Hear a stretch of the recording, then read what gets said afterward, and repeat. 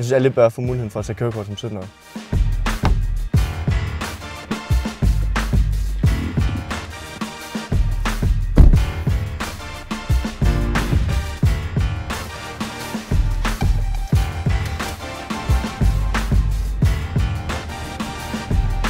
Og så blinker du til højre, det er opad.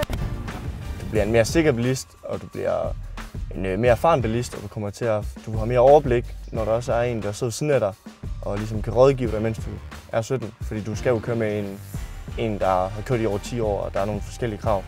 Jeg synes, det giver muligheden for mange 17-årige, eller det er bare en fed mulighed generelt at få, fordi så kan du få det gjort før, i stedet for det hele det skal ligge lige op til 18 års fødselsdag, og en masse ting, der sker i 3.G, og der, der sker mange ting. Der skal selvfølgelig være en grænse for, hvornår det er, man må begynde. Jeg synes 17-årige, det, der er man begyndt at blive lidt mere, man har noget mere ansvar i livet, man begynder måske på nogle, nogle gymnasielle uddannelser og sådan noget, så der er noget ansvar, der hører med der. Også med sin skolegang, får man lavet sine ting, og det samme får man læst op på sin lektie med kørekort. Øh, har- kan du tage ansvar i trafikken for det, du gør? Der er bare mange ting, der følger med.